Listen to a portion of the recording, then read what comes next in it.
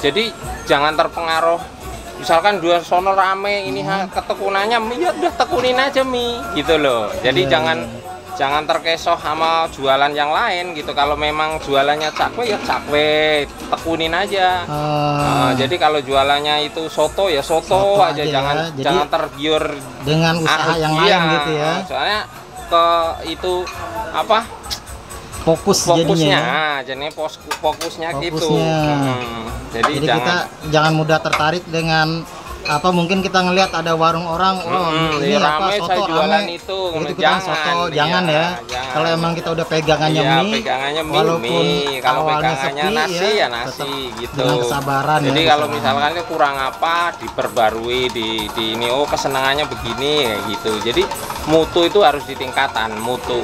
mutu ya Mutu, ya. Mutu pelayanan konsumen juga Yang penting kan intinya itulah, jangan sampai takut wah ntar untungnya berapa jangan. Yang penting kita jualan laku aja. Misalkan nggak habis nih, Ah. nggak habis waktu tahun dulu nggak habis, kita nggak bisa pakai, langsung kita buang. oh Iya. itu Nah, dia kita salah kasih satunya orang, kasih tetangga gitu. jadi Ada kita yang jangan mau. paksakan ya Iya, jadi kalau misalkan nggak habis, itu jangan dibuat besok lagi gitu. Oh, Nah, karena itu akan apa Iya, rasanya udah beda. konsumen Ah, juga ah, ya Rasanya beda. Jadi ditaker. Betul. Takernya gini. ah, jualannya jangan terlalu banyak. Jadi orang misalkan habis jam sekian datang lagi kok habis penasaran, makin penasaran oh kok. itu salah satu Iya. trik ininya Seringnya, ya Iya, jadi orang kok habis datang lagi. marketing. Ah, makanya Ini luar biasa banget nih Mas Sugeng nih. Dibeberin semua nih Iya, dari sejarahnya sampai nasihat-nasihatnya sampai ke strategi marketingnya. Hmm, makanya Semoga Kak- nih Mas Sugeng nih tambah sukses karena Ya, amin. udah sharing ilmu nasihat-nasihat juga nih. Hmm. Mas Sugeng, Iya. saya terima kasih banyak nih ya udah boleh nge-review. Yang nonton video ini bisa bisa tekun lah usahanya apa, bisa lancar, saya Amin, doain aja. Yang amin. penting pertama, yang intinya ya tadi orang tua sama yang di atas gitu Orang aja. tua Sama yang di atas. atas gitu, jangan nama yang lain. Betul. Iya. Ridho Allah Eh. itu karena dari orang tua ridho. Nah, iya, ya. makanya kalau misalkan ada apa-apa, sungkem sama orang tua. Pasti itu. Nah, ini nomor pertama. Suka- suka- suka. Subhanallah. Benar-benar nih. Ini benar-benar ilmu yang harus iya, kita iya, makanya. amalkan ini. Mm, terus kita tekun, Tekun ya, sabar, jualannya iya. Yang pertama ya kebersihan, ya apa dijaga gitu, mutu. Mm-mm. Betul betul. Untung dikit nggak apa-apa. Untung dikit, dikit nggak yang penting apa-apa. lancar dulu. Nah, Uh, ini ini yang ini ya penang yang sore, keduanya nih, yang, eh, yang sore. sore, nih. sore ini baru jadi nih. Dibikin, digulung dulu uh, untuk persiapan malam minggu. Persiapan malam minggu. Iya. Oh ya ini bukanya dari jam berapa Buka sampai jam dari berapa? jam 7 pagi Ya. sampai jam 9 malam. Terus Hmm. tutupnya eh, hari apa? Mungkin ada liburnya apa enggak? Kalau tutupnya sebulan sekali, tapi nggak tentu. Oh, Cuman gitu. eh, kita ngambilnya hari biasa. Kalau Sabtu Minggu tetap buka. Tetap buka. Iya, yang itu ya Sabtu Minggu tetap buka. Kalau tempat saya pengen tahu, udah masuk ke dalam aja Iya. caranya masak bisa. karena emang dijamin ya Iya, semua buatan ah, sendiri. buatan sendiri. Jadi kehalalannya Iya. bisa kita ketahui. Mm, dari minuman minuman udah saya bikin tuh es teh manis. Oh, iya, ini es teh dia manis nih. itu di ah, rasanya juga beda. Rasanya beda ya. Iya, itu dibikin itunya Itu kan tadi teh botol 3000. Kalau teh manis berapa? sama 3000. Sama 3000 Iya. pakai es. Pakai es. Oh, 3000 pakai es. Ini dia. Tehnya juga Tehnya teh beda rasanya. beda. Ini tehnya racikan loh. Ini lihat nih. Lihat nih ada ininya. Termosnya gede banget. Terima kasih Mas Sugeng ya. Ya, sama-sama. Assalamualaikum. Waalaikumsalam. Ya ini Bang Sobat udah pesen ada dua menu yang berbeda. Eh, yang satu ini miyamin. Miyamin dia bedanya warna minyak agak coklat. Kalau ini mie ayam pangsit. Dia sama seperti mie ayam pada umumnya warnanya kuning.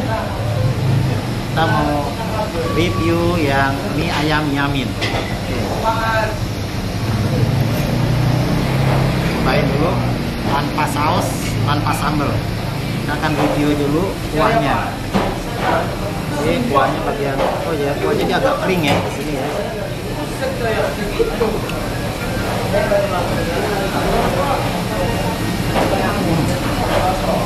Kuahnya gurih banget.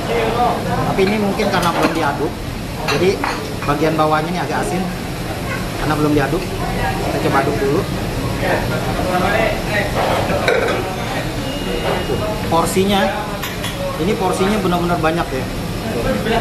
Porsinya banyak.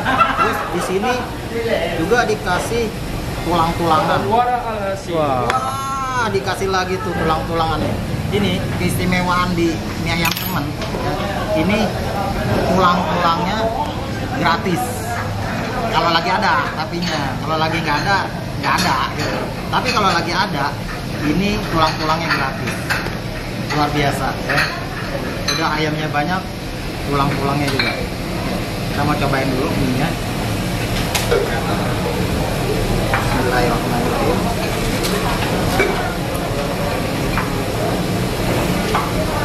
Hmm. Enak. Coba diaduk dulu ya. Ini belum diaduk sempurna nih. Porsinya ini loh, banyak banget porsinya. Satu porsi segini banyaknya.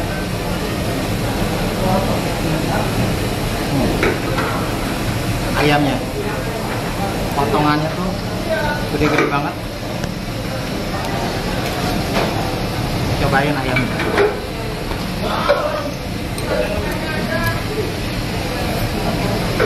Gurih banget ayamnya. Tekstur ayam itu agak-agak keras, mirip kayak ayam kampung.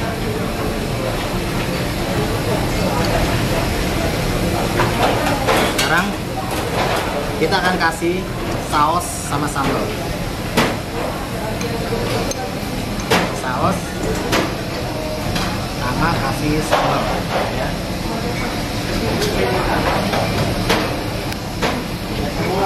Baru kita aduk.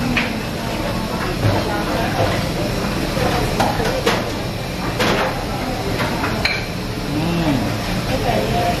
Ini loh. Ayam ini benar-benar nih.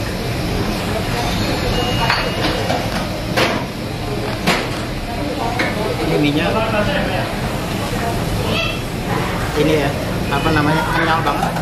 Ya kalau kita tarik mie-nya ini sem- semacam kayak karet dia, lentur tuh. Tapi kalau mie yang biasanya yang eh, umumnya, biasanya mie itu gampang putus.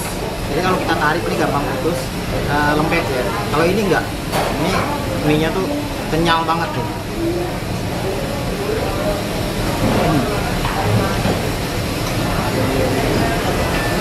Ini baru mantep banget. Jadi setelah dikasih saus, sambal, pas banget rasanya. Ini kenyal nih. Pantes ya karena ini bikin sendiri mie-nya. Jadi mie-nya nggak ada dijual di tempat lain, jadi dia bikin sendiri makanya mie-nya nih beda. Ini nilainya kalau dari 6 sampai 10 ini dapat nilai 9. Mantap. 9. Enak banget nih, yakin nih. Mau tahu nggak ini harganya? Ini satu porsi yang segini banyak nih. Harganya cuma 10.000 plus pangsit, plus tulang, ayamnya banyak. Makanya nilainya 9. Nah, paling saat ini mie apa, Bang Sobat? Ini mie ayam original. Warnanya sama seperti mie ayam biasa. Ya, terus ini Pak Sobat pesan pakai bakso. Kita akan rasain originalnya dulu. Sedikit diaduk dulu ya. Ini ada pangsitnya loh.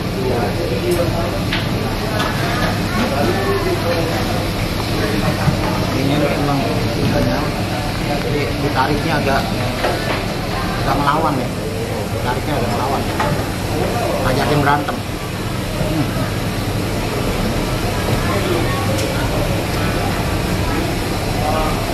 Gurih. Terasa banget bawang-bawangannya.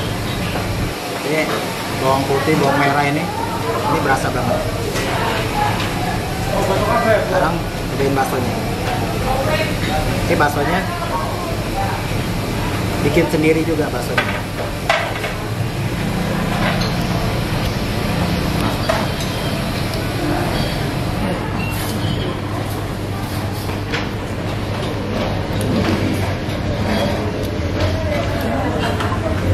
Cobain tulangnya bang sobat. dulu. Cobain satu-satu. Baksonya nih. Dia berasa dagingnya ya. Jadi sepertinya campuran terigunya nih lebih sedikit.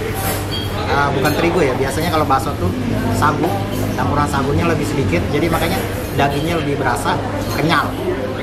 Dagingnya kenyal. Baksonya itu loh.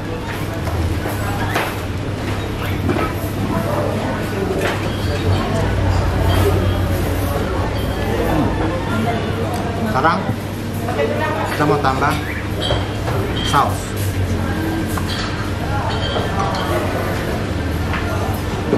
sambal Nggak pakai kecap bang sobat.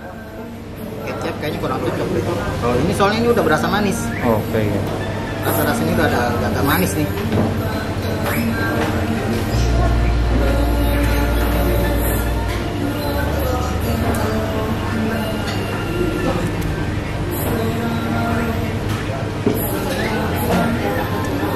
sama kayak mie yamin. Dia kalau dikasih sambal sama saus rasanya lebih solid. Lebih berkarakter banget.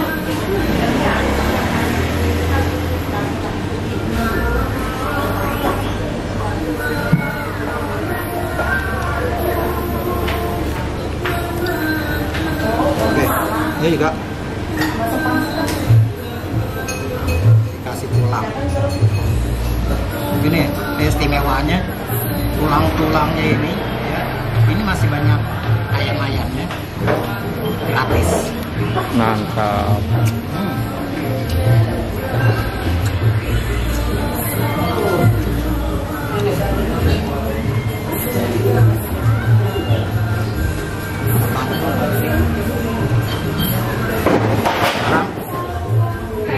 Penilaian ya.